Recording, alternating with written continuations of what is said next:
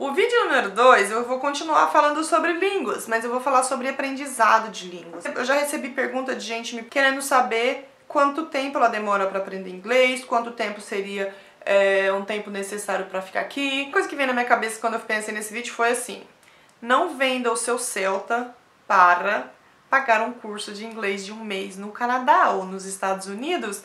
Gente, eu tô brincando com o Celta, eu não tenho nenhum Celta, então não se sinta ofendido. Que eu tô... Por que, que eu tô falando isso? Bom, se você é uma pessoa normal, que não tem nenhum poder especial, você não vai aprender uma língua nova, não, seja ela inglês, francês, espanhol ah, ou qualquer outra língua, em um mês. Eu vou falar da minha experiência. Eu usava uma frase que hoje eu escuto muito. Ah, e ele tem hum, facilidade para aprender língua.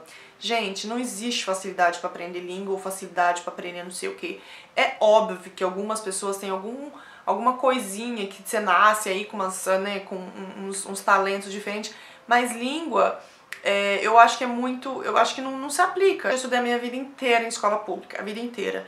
Eu, o inglês que eu aprendi na escola foi uh, the books and the table e algumas frutas aí, que eu não sei falar até hoje. Eu não tô falando de uma pessoa que fez uma puta escola a vida inteira em inglês e que aí quando, sei lá, tem 18, 20 anos, tem um puta de um, de uma base forte de inglês, uma puta gramática, conversa, e aí vai para fora, vai para algum país para ganhar uma fluência. Não é isso que eu tô falando. Quando você for para uma escola de intercâmbio e você quiser viajar e você quiser aprender, não não acredita numa pessoa que vai te falar que você vai melhorar, que você vai mudar de nível. Eu não tô falando para você não pagar um curso de inglês, para você não vir aqui, não ir para os Estados Unidos ou não ir para qualquer lugar que seja. Não vá com o intuito achando que você vai aprender inglês em um mês. Você não vai aprender inglês em um mês. Eu, Vânia, eu aprendo por contexto. E eu acho que muita gente aprende por contexto. Por isso que eu acho muito importante você vir para cá e você ir para outro lugar, ou você se colocar em contexto. Você pode se colocar em contexto dentro da sua casa, mas o intuito é acreditar que você vai aprender a falar inglês em um mês. Em seis meses você não vai aprender a falar inglês. Essa é uma coisa. Outra coisa que é importante de você entender é que a gente tem tempos diferentes, um tempo diferente para tudo na vida, né? Então a gente não pode se comparar. É óbvio que a minha experiência pode ser que te ajude, ou a experiência de alguém me ajudou, mas cada um tem um tempo. Óbvio que a gente tem alguns parâmetros. Ah, seis meses é um tempo bacana, um ano é um tempo bom. Isso é muito relativo e muito pessoal. Outra coisa engraçada escutava as pessoas falando inglês e falava Por que eu não consigo falar inglês e ele fala inglês também? Gente, eu vou contar uma coisa. De 10 amigos seus que falam inglês, que falam que falam inglês, dois falam inglês fluente, dois. Gente que eu falava, oh, meu Deus, como inglês é bom, meu. E vem aqui e não consegue pedir uma pizza. Depois de falar um pouco sobre isso, agora eu vou falar como eu aprendi a falar e como eu aprendo. Eu fui pra Vila de Quebec, é, eu fiquei uns três meses na frente da televisão sem entender uma palavra de francês. Eu não entendia nada. E eu fiquei os três meses, no mínimo, sentada todos os dias assistindo programas de, de, de francês. Meu amor, no, no, se eu estivesse no Brasil fazendo a mesma coisa, eu teria aprendido provavelmente igual. Quando eu fui pra escola, começou a fazer mais sentido, que eu fui aprendendo mais gramática, fui colocando mais gramática, então aquilo que eu escutava começou a fazer sentido. E depois eu fui pro, pra um trabalho, 10 pessoas que falavam comigo, umas Três eu entendi, o resto eu falava ui, perguntava, fazia cara feia, aquele monte de gente reclamando, tipo, chama, pedia pra falar com outra pessoa. Gente, daí, tipo, eu não tô mais lá, tô aqui eu falando francês, porque essas são situações que a gente precisa passar. Eu só aprendi a falar francês bem, porque eu falo bem. Eu estudei, eu estudei essa história que eu tenho facilidade e que alguém tem facilidade, não existe. Isso é tipo, a gente tem preguiça de aprender, preguiça de estudar, ou que é melhor falar isso. E com o tempo as coisas vão melhorando, isso demorou. Eu fiquei dois anos e meio enfiada na neve para aprender a falar francês literalmente enfiada na neve. Por isso que eu aprendi, não tem mágica, não existe mágica. Quando eu me mudei para Montreal, eu falava muito francês ainda meu inglês era ruim. E foi a mesma coisa com o inglês. Eu ia pra escola escutando rádio. Isso, eu não entendia porra nenhuma do que o cara tava falando em inglês. E aí, lembro que meu professor, quando eu chegava na sala, ele perguntava: E aí, você entendeu alguma coisa de hoje da notícia? Eu não. Ele não. Amanhã você tenta de novo. Assim que eu vim pra Toronto, eu achei que eu tava arrasando no inglês. O primeiro dia que eu cheguei aqui, eu cheguei no Tim Hortons e pedi um café, um café. A mulher não me entendeu, ela não me entendeu um café. Faz dois anos que eu tô em Toronto e eu sofro com inglês. Preciso de água. Quando eu mudei pra Toronto, eu fui pra escolas de inglês e, uh, e aí eu comecei. E aí eu já contei no primeiro vídeo que eu só consegui um trabalho aqui porque eu falava francês. O meu chefe na minha entrevista, na época, ele não entendeu nada do que eu falei. E ele não entendeu mesmo, eu sabia disso. Eles só me contrataram porque eu falava francês. E eu ainda sofro com inglês todos os dias para escrever, para ouvir. Eu comecei a trabalhar o, o, o francês e o inglês, eu, eu, demorava para desassociar. Bilíngue, eu trocava a língua o tempo inteiro. E eu demorei meses para o meu cérebro entender que eu não estava mais falando em francês e que agora era inglês.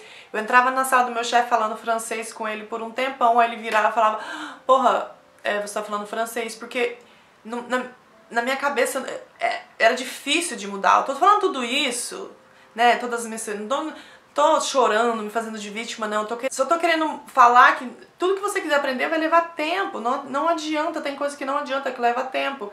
Se você tipo, que é que nem eu, que não teve essa base boa de inglês, de línguas, e que você foi aprender isso depois, principalmente depois de grande, que é mais difícil, gente, não adianta. Dia, dia após dia, dia após dia, um monte de coisa chata você tem que passar, um monte de situação, uma, uma bosta, mas não tem outro jeito. Você vai fazer o quê? Vai morrer, vai ficar chorando, xingando. Não, então vai estudar a porra da língua se você quiser aprender a porra da língua. Voltando pro começo do vídeo, que é você é não gastar todo o seu, o seu dinheiro em um mês de curso de inglês, Hoje em dia existem, hoje em dia tem YouTube, hoje em dia tem televisão, tem filme, tem tudo em inglês. Então colocar em contexto, você não precisa sair de um país para entrar em contexto, assistir tutorial, assistir vídeo no YouTube. Se você não tem opção, por exemplo, de sair, de pagar uma viagem, não tem problema nenhum. Você pode aprender uma língua, você entra no seu quarto, paga aí, se você está assistindo esse vídeo é porque tem jeito você estar tá na internet. Então, tem muito tutorial, muita coisa, você você fica enfiado. Ah, mas eu não entendo nada. Tá tudo bem, eu não entendia nada. Esse é tempo, não tem jeito. Não adianta também você pagar todo o dinheiro que você tem num curso de intercâmbio, chegar aqui e ficar enfiado em festa de brasileiro. Não tem nada contra. Ou em festa de francês, se você é francês. Ou em festa de mexicano, se você é mexicano. Não adianta, você não vai melhorar.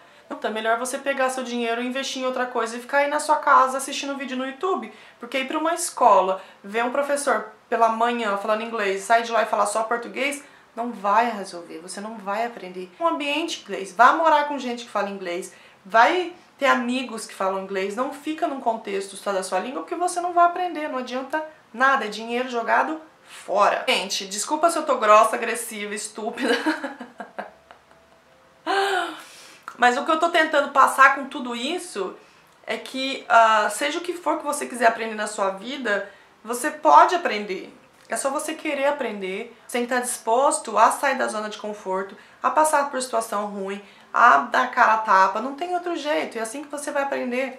É, mas você não precisa sair do seu país, dar todo o seu dinheiro e achar que isso você vai voltar e você vai colocar lá no seu currículo que fez três meses de curso no Canadá e que você vai chegar no seu trabalho e vão pedir para você atender o telefone inglês e você não vai conseguir atender o telefone inglês. Se você puder sair, lógico, é incrível. Não tô questionando o valor da viagem num todo. O, o, que mais, o que eu acho mais bonito em aprender língua ou aprender qualquer coisa, ou no fato de conhecimento mesmo, de ter conhecimento, sobre algum assunto é porque é uma, é uma coisa que você não pode comprar. Esse conhecimento é uma coisa que você não pode pagar, né? É bom e é, e é ruim, mas é muito bom.